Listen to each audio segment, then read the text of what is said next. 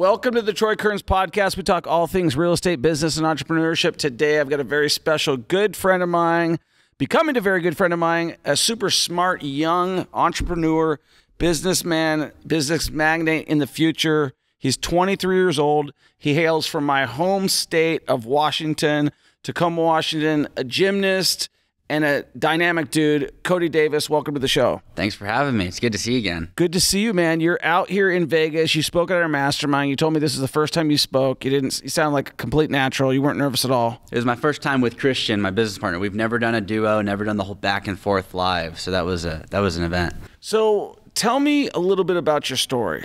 Yeah, so I got started. I was 19 years old and a, a recent college dropout. Dropped Yes. out of college. I got my real estate license because some person on the internet never met him before told me to. Good And- reason. Yeah, you know, I was a rational teenager.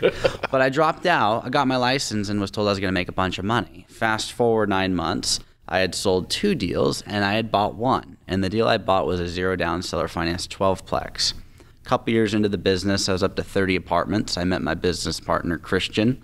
And over the last year and a half, we scaled to 100 and, well, by the time this goes live, 122 apartments, all seller financed and a resort. That's crazy. And so the first question I would have for you is prior to getting into real estate, what were you doing? Like you just had gotten out of high school.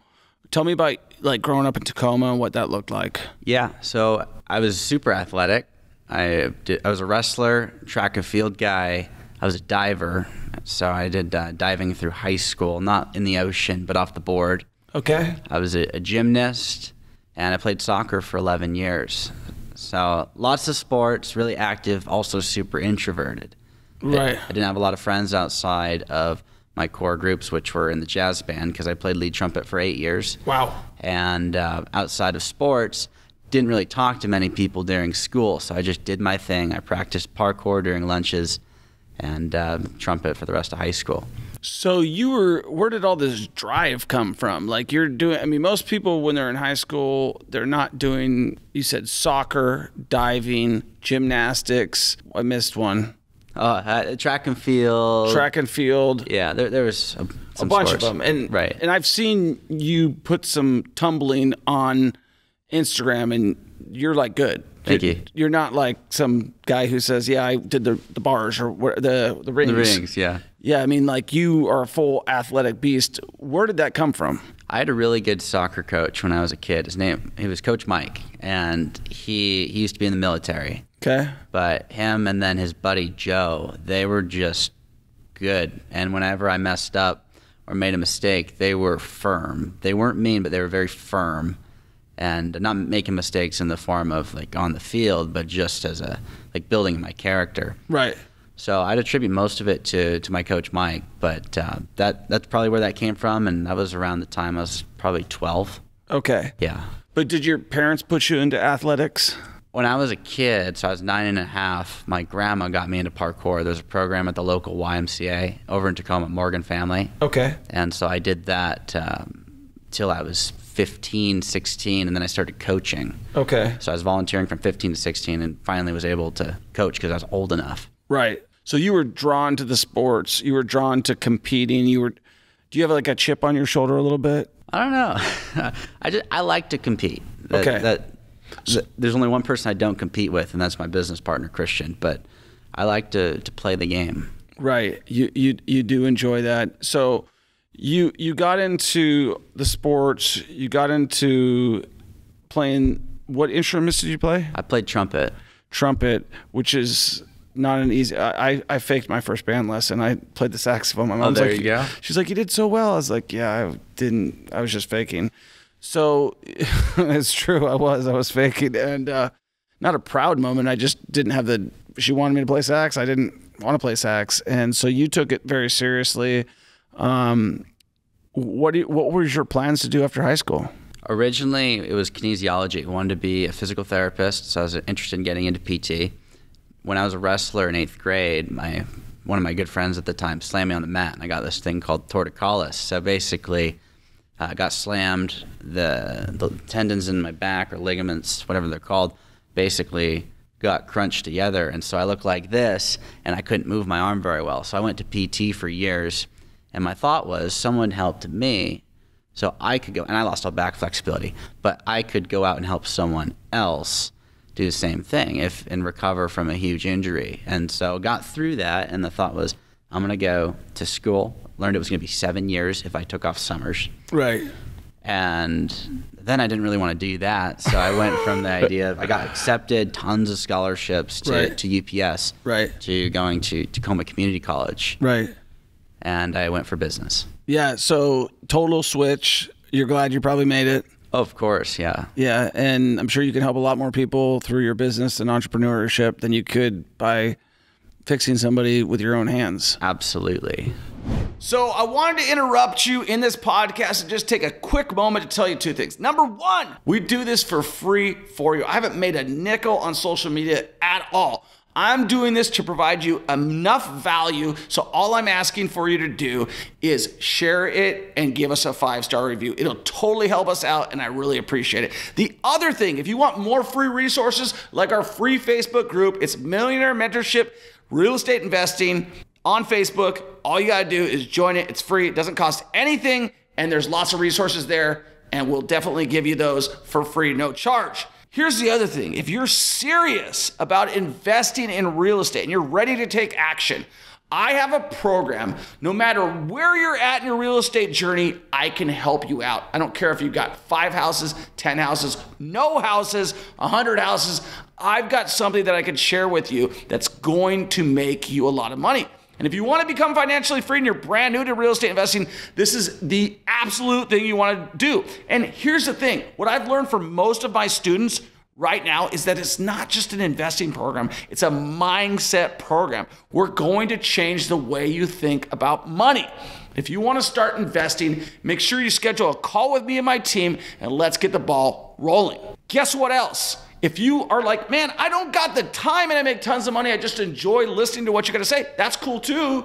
We actually have set up a fund where you can invest with us, but you gotta be an accredited investor. If you wanna find out what that looks like, all you gotta do is click the link in my bio, fill out the form, takes you about two seconds, and then we'll let you know about the deals that we're doing. We're doing big deals in Kansas City. And this year, I think we'll do two huge deals in Kansas City. I'm looking at a few right now, and I want you to be a part of it. And if you've got more money than time, then that's what you should do. If you got more time than money, then schedule a call with me and my team, and we'll get you into our coaching program so that you can have more money than time. Okay, so at your journey right now, you're at a. By the time this podcast um, lands, you'll be at 128 or 122. 122 in the resort, yeah. Okay, that's awesome. So, where are you getting all this? I know you're meeting people. I know you're talking to people. I know that's one of the things that you preach about that you're trying to get to know people who are smarter than you always. Of course. What other things are you doing? Yeah, so outside of meeting with the players in the space, I, I run a property management company, so I own and operate that. Getting to be less hands on. I self managed my first 30 apartments and then founded a, PM company out of necessity. Yes. And so that was a whole adventure in its own. Uh, I've got a consulting company, and that takes about five hours a week. So that gives a little bit of time to just other people helping them figure out their business because there's so much to learn. And then uh, outside of that, really nothing. Just building the relationships is the forefront of everything I do. I still do some tenant communications. I'm getting out of that, but I'm just making sure that all the projects are going forward, doing a lot of renovation deals, and I, I handle all the money. So the, the bank refinances are all on me. So, what are your long term goals and what are your short term goals? Yeah. So right now, short term, I'm buying a condo for my mom this year, Point Ruston. Yes. So Ruston, for those who don't know, that those were the arsenic stacks were, and it was supposed to be condemned for like hundred years. Yeah. They put just enough dirt over it to make it legal, but it's a beautiful location. Right. They totally changed that entire area. It's ridiculous. Some of the land was selling for three million bucks. Now the condos are three million bucks. But So, that's kind of the kind of condo you're buying her. The one that I'm looking at is about a million five, but that's waterfront. The the three million dollar condos are the penthouse, and she doesn't need or want that. It's, Well, I'm just kidding. I'm just I might want one, but Yeah, no, I've been through that whole area. Uh, they got a movie theater down there. They've got everything. They've got like a sculpture. It's Yeah. just completely transformed. It was a creosote plant or something like that at some point in time, and Yeah, they threw some dirt on it, made it into condos, Yeah. redeveloped the whole area. and it, it's beautiful. Yeah. But that's the short-term goal, and I've allocated about eight thousand bucks a month to make that happen out of cash flow. So it's going to be ten percent down deal. Qualifies as a second home. I have to live there for fourteen days a year, and she can live there the rest. So working on that right now, and then long-term goals over the next five years going to pay off the whole portfolio. Keep scaling with non-recourse debt, but paying off everything that I have just to take risk off the table. Right. How proud of your of you is your mom? I, I, I mean, I try to make her proud. That's that's my goal. Yeah, I mean, you wanting to get her the condo. What does she do for a living? Yeah. So she used to work at State Farm. Okay. Now she manages the team at Perkins Coie, which is a, a law firm. Okay. But um, yeah, she she'll be able to retire in the future. Right. But be able to is not necessarily what I want her to have. You want to have a good life. Yeah, she deserves it. Yeah, for sure. That's awesome, man. It always inspires me to hear those stories, like, especially because I'm like, I need to do more. you know, just like seeing people go above and beyond. Um, she, she obviously, you know, it's family is the most important thing, and you never know, you know, how soon things could just end or something could change. And Absolutely. so we were talking earlier offline that you had like the number one bigger pockets podcast ever. Yeah, on their YouTube channel, that was their biggest. I mean, viewed. I mean, think the next most viewed was Robert Kiyosaki, and he had just over half of the views that I got. Why did yours get so many views? Other than it being something that was palatable, I, I keep everything very simple. Right. Everything is simplistic, and there, it's never above anybody. And if it is, they can ask a question, and I can repeat it in a way that anybody will understand it. However, for every comment that I got, I responded. So everybody in that comment section, I, I'll just put in a response, unless it's one of those spam bots. I don't need to respond to Yeah, those. block. yeah, hit block. But I responded to everybody. That created a lot of engagement, got some back and forth, and that, that also brought some people to my YouTube channel. But the, it showed I was human. Right. And, and other, it's not just like some unattainable person. I tried to be as human as possible because what I did is repeatable. right. And why did they bring you on the Bigger Pockets podcast? Like, how did you get on that? Yeah, so that was a fun roundabout story. But I ended up, uh, someone messaged me online. I think it was through Facebook or Instagram, and they're asking for help figuring out how to scale their portfolio. And they knew I'd done the seller finance thing. I ended up helping them out. I showed them the simplicity of what I do and how I can scale it from where I'm at to a billion dollars real estate before, well, I mean, billion dollars of equity before I'm 40. Is that the goal? I, I, th- I think we'll crush that, but I just did the math for that back then. And um, they ended up being friends with Brandon Turner. So they sent a, a message to Brandon and got me on the podcast. Hey, it helps to be nice to people. Absolutely. So let's go down that billion dollar road uh, because that is very admirable. So, how are you going to get there? And what what is the why a billion dollars? Yeah, so uh, I'll start off with the how, because for people that want to do that, the, the why will be a little less important for them. But Right. the the how is you just have to figure out how do I borrow a billion dollars. The bottleneck in everybody's business outside of systems is getting cash flowing debt. Right. So to get to a billion, my odds of earning that are very low Right. from an earned income. There's no W sure. two I can get. And like maybe I could scale my business, but that's not feasible. That's not real to me yet. No, I don't. I think a billion dollars is pretty hard to do as a W two. And I've met people that do a billion a year in revenue, but still, it's it's that's very few people. right, So I have to figure out how do I buy a billion dollars of real estate leveraged? How do I get the debt? And Right. so mastering the creative finance game.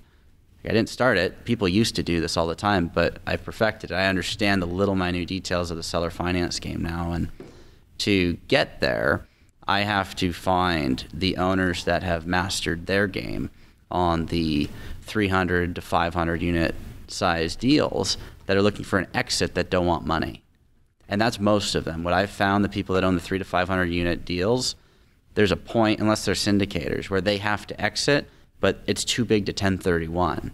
There are people with the 2,000 unit portfolios that can't 1031. I met with them, and they they can't sell and then buy something new. There's not something for sale big enough. Right. So their only exit is to pay it off and then to sell out on a contract. Right. So meeting with them, that's the how, Right. building those relationships, and then becoming the person who gets that contract. Why, why would they? Why would they want to sell it to you versus sell it um, to sell it outright? They don't want the cash, and they don't want to worry about the taxes. The amount of taxes that they pay at that level is ludicrous. Right. If And they were just to exit, How much? How much of a reduction in taxes would they get if they sold it at like at a contract to you? Well, it depends. There's a lot of factors because if they 1031 up to that, they could realize all their gains from all the past transactions, Right. Which would be very painful. Right. If they just wrote a check and they bought it, it could be a little different because I don't know their basis. They could have inherited it where the basis steps up again. So there, there's a lot of pieces that I'm missing in that equation. Right. But for a lot of these players, they're not passing it to their kids. And if they want to exit, like their kids don't typically want it. Right. So they don't want to manage an empire because you still have to manage the managers and manage all the systems and the people at, at some level. Right. So that that's the reason they would exit. Now the why behind a billion dollars is because I, I know I can. Right. And the fact that I can get there, I'll manage it better than the next guy or gal. Like I'll I'll just do a better job managing the money. We don't own anything, we manage it. So my thought process is I can get there, so I ought to try. Right. So you're you're you've got a good start. Um, what do you think your next big move is going to be? Yeah, I'm stabilizing the resort. I have to, to beef up the balance sheet to get some of the loan products that I'm trying to get. So I'm in the optimization stage of the business cycle. We, we built the portfolio, we stabilized it. Now we're optimizing for highest and best use, and then we're going to pay it off. And then I'll have this equity position for the balance sheet, and I'll go get non recourse debt and start sniping deals from the syndicators who got variable rate debt. They're going to start losing all their stuff, and I've seen that on hundreds of millions of dollars worth of loans where these big players started making mistakes. Greed will get you every time. Absolutely, it's not worth it. They they they didn't think that the interest rates would go up, and you know it's so funny because everything is so one dimensional. When people are talking, they're like, "Oh, you know, we'll just buy it. We'll raise a bunch of other people's money. We'll put it into a deal, and then we'll just refi." And if you, and they're like, and they pick, they're like, pick it worst case scenario. If rates are up at five and a half, Yeah. we'll still be okay. Mm-hmm. But they didn't plan on this. Oh no. And so that's why you're so smart to not want to have debt. The reason, the only reason that I don't have debt is I saw bad times early on in my career, and I bought stuff in Vegas on speculation. Yeah. And, and I was like, oh man, I'm never doing that again. And now I know that there's going to be bad times. Yeah, the, it is a thing. It's not always sunshine and rainbows. Yeah. So a billion dollars worth of real estate by the time you're 40 years old. I hope you. I hope you crush that. That'd be awesome. Uh, that would put you. Now, do you see yourself doing the syndication model? No. No. Syndication's a last resort. If I'm ever in jeopardy of losing my stuff, let's say I get to the end of a balloon and I can't refinance, Right. I have a, a decent equity position in the portfolio.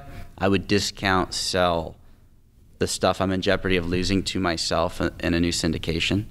So if I had to syndicate funds, I could basically 100% cash out whatever equity position I sold at, get my cash to get liquid again to save my butt. Yeah. And, and then I'd be selling it at a discount with acquisition debt, which is better than the refinance. So the investors would be happy. But that's the only reason I see that as a tool. Why do you not like the syndication model? I don't like to add steps. That's one of my core principles. And adding people adds steps. People Yeah. are essential to build the business, but I don't want a whole bunch of, even if they're limited partners, I, I just don't want to worry about the what ifs. I'm good losing my money. Yeah, you don't want to lose other people's money. Right. And I, I've never lost anybody's money, you know, knock on wood. But yeah. but I, I make sure to do really conservative deals. But I, I think the story is worth more than the real estate, and everybody's syndicating right now. And so the thought is, if I do that, I just become another person who's doing that thing versus someone who plays the game at the highest level and doesn't act as a hammer. Because when you're a hammer, everything's a nail. Right. Syndicators see everything as an option. They Yeah, "Oh, totally. I can syndicate all these deals. Yeah. Versus, I make a development fee. oh yeah, Yeah. You get your fee up front. Yeah. Who And cares if we lose money? Oh yeah, but my thought process is I'll use that as a tool, but that's not going to be a business model. Same with BRRRR. People that just BRRRR and try and leverage to the hilt. That's not a great business model because it only works until it. I mean, it works till it doesn't, right? Work still doesn't. And then you run out of runway. Have you ever um, have you ever looked into uh, tax increment financing? No, I have no clue what that is. Cool. I think you'll enjoy this then. So, the, the only reason I tell you that you may want to consider looking into syndications and tax, and tax increment financing, I didn't hear a lot about it until. So we did some things, some tax, some some historical tax credits in New Orleans back in the day because you could do them on pretty much any property where you get the five years federal and the and the state credits, which basically means that you're getting 45% of the rehab money in a credit back to you. So let's say you bought a property for $5 million, and let's say you spent $5 million in rehab. You're going to get 2.5 of that million dollars ish. Yeah. I'm not doing exactly the math, but ish of uh, money back that you can sell or you can use as your financing. Wow. It's yeah. So in the Midwest, they have the same thing. So it's something that a tool that we're using because what you do is, I know you like creative financing. Oh, So, yeah. so that's why I'm telling you about it. So what you could do is with this tax increment financing, you basically you figure out what your what your cost is going to be. You know, like this building that I bought. Okay, the building that I bought for ninety six thousand square foot. We it's on the historical registry, so we can apply for state and local federal uh, tax credits. Those are at we get forty five cents on the dollar. So it means even if we put ten million dollars in it, we can sell that to a bank and we can get ninety percent of that money back of the 45 cents. So out of the 45 cents of that money, like let's say it's just I'll just use it as 50%. It's easier for me to do the math, but let's say it's a 10 million dollar budget, we sell 5 million dollars to a bank or the bank gives us the financing because we have that and they know we can sell that.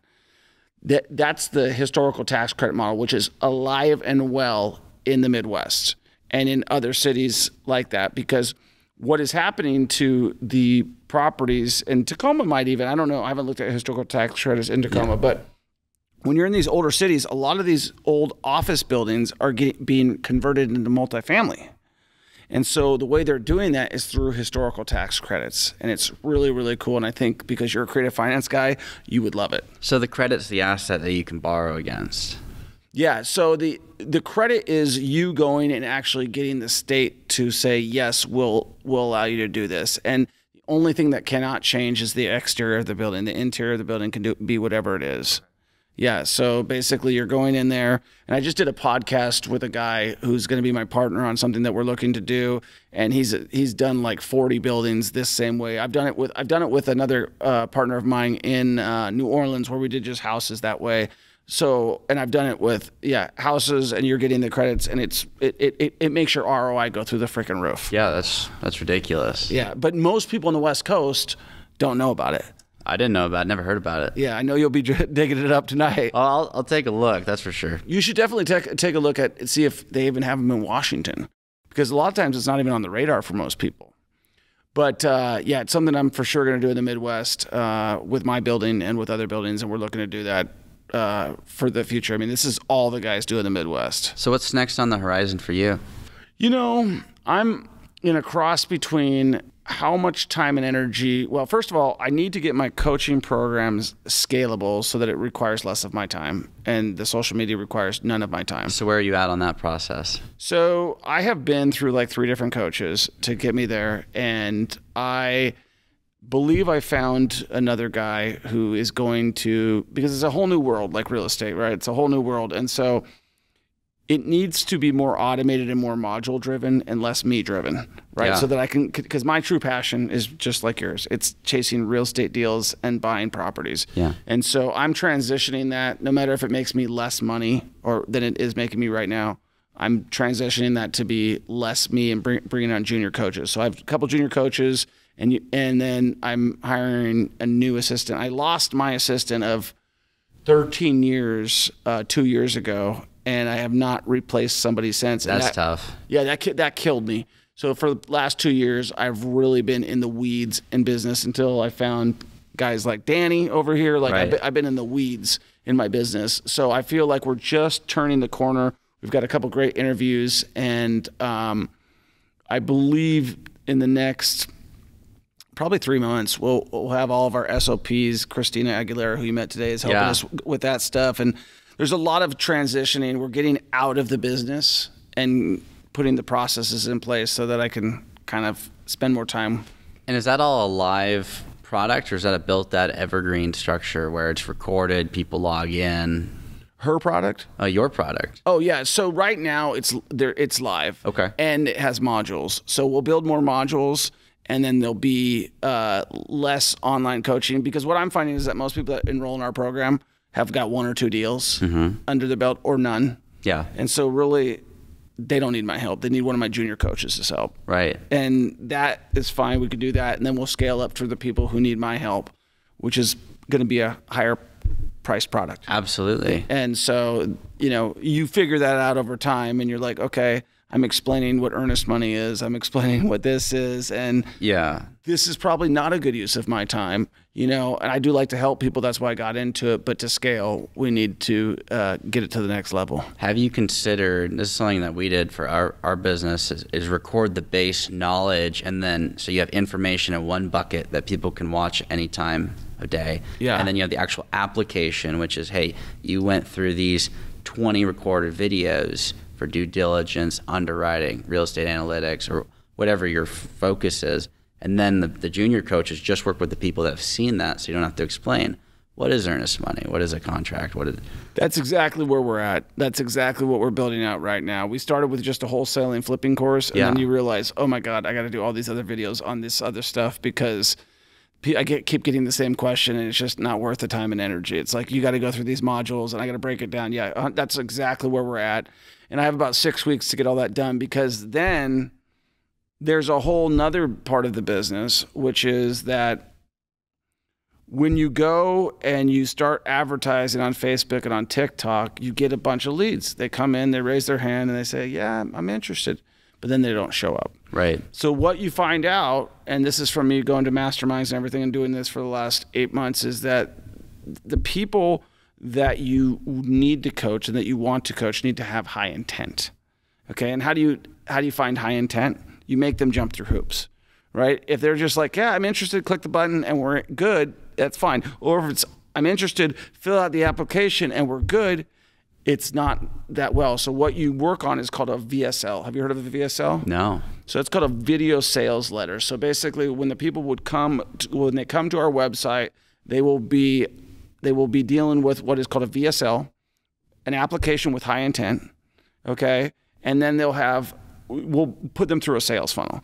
So the sales funnel is going to be basically a bunch of different steps. So this those steps will be like, and I have a really great one right now that's already built out. But it took me so long. And here's the thing: it's like it's the wrong coach. I hired a guy. The funny thing is, he was supposed to speak here and he flaked out. So Oops. yeah, like I think it was one of those situations where he was like, because I literally said, "I'm done with you, but you can still speak at the event," and then. He never came uh, to the event, and so I was, and never communicated. It was pretty uh, uh, ridiculous, but he did teach me a lot about the the um, about the mechanics of stuff, but I needed someone to, to do it for me. I, and so I learned for the last eight months about the online coaching world. Yeah. And I realized that, like, wow, I need to just partner with somebody or have somebody build out the funnel. But it's all about these sales funnels, which actually would work really well in real estate in some capacity.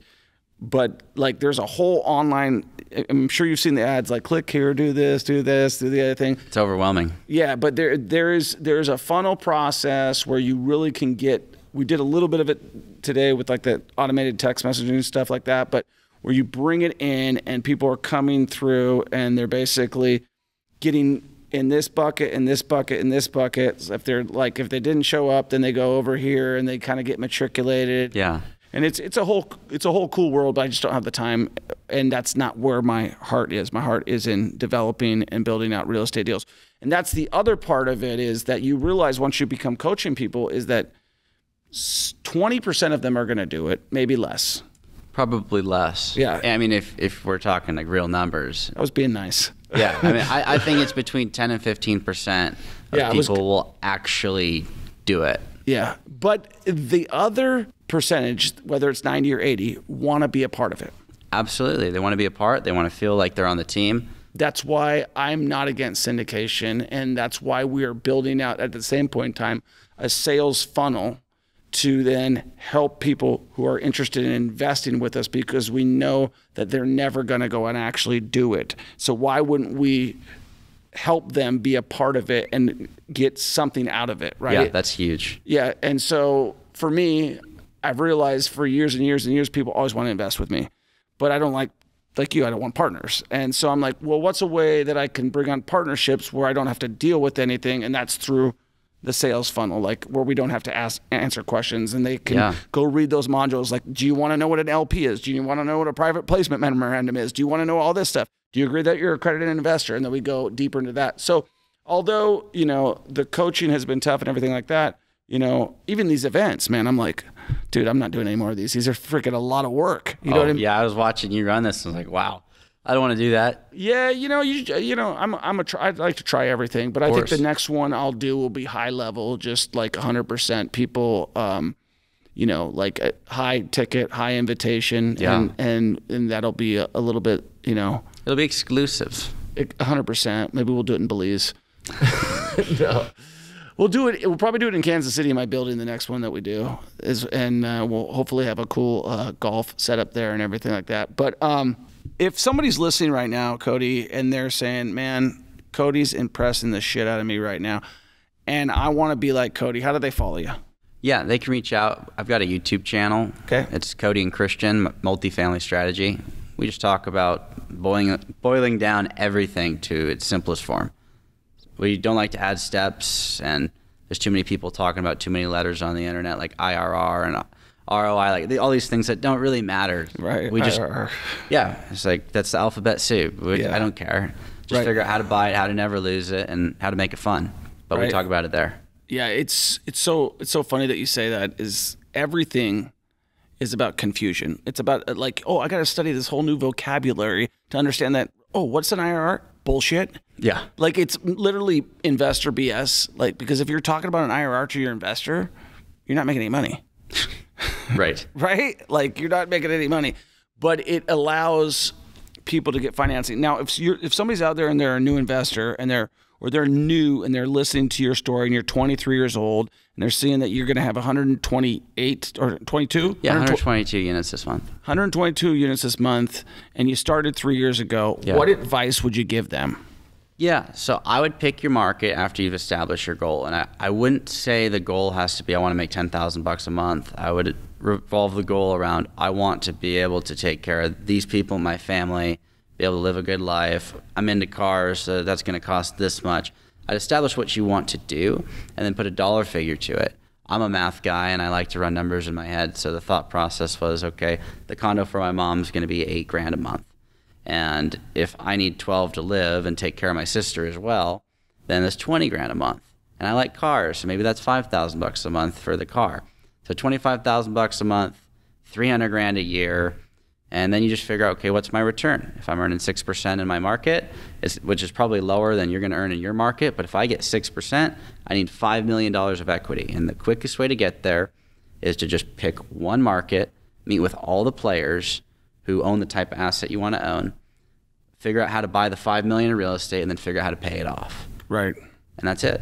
That's awesome. Have you heard of Oscar Hulk Holden? No.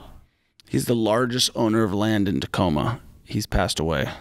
Wow. the largest owner of commercial property in Tacoma, Washington, Oscar Hulk Holden.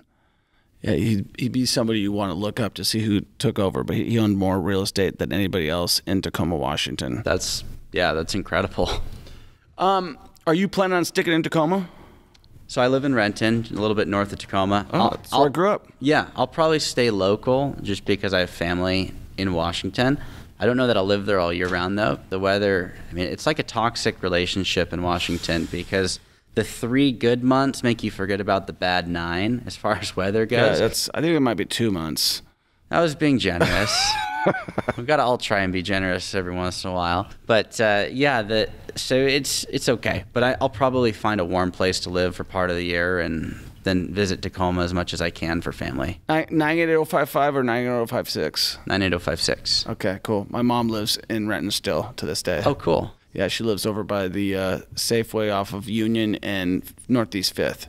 Okay. If you know where that is. Familiar. Yeah. All right. Well, I appreciate you coming on the show. I appreciate all your information. I appreciate you coming to the event with your Thank business you. partner, and I hope to see you at golf tonight. Let's make it happen. All right, man. Peace. Are you interested in investing in real estate, but you don't feel like you got the time to take a coaching program? I get it, right? You're busy, you're making money, and that's okay, but you want to invest with me because you're like, Troy, I like what you do. I see what you're doing. You're a real deal. Yes, I am. I'm an average Joe. I worked at Burger King, I worked at Red Robin, I started investing in real estate, and I started from absolutely nothing. And I will take you along with my journey, and you can get all the benefits, but you got to be an accredited investor. If you want to invest with me and you want to be a part of something great and you don't have the time, guess what? We're launching a fund that you can be a part of, but you got to be an accredited investor. And if you want to find out more about what that looks like, all you got to do is click the link and we'll show you exactly what that looks like. And guess what? If you're not an accredited investor, then you may down the road be a accredited investor. So definitely learn what that's all about, and we'll see you on the next one.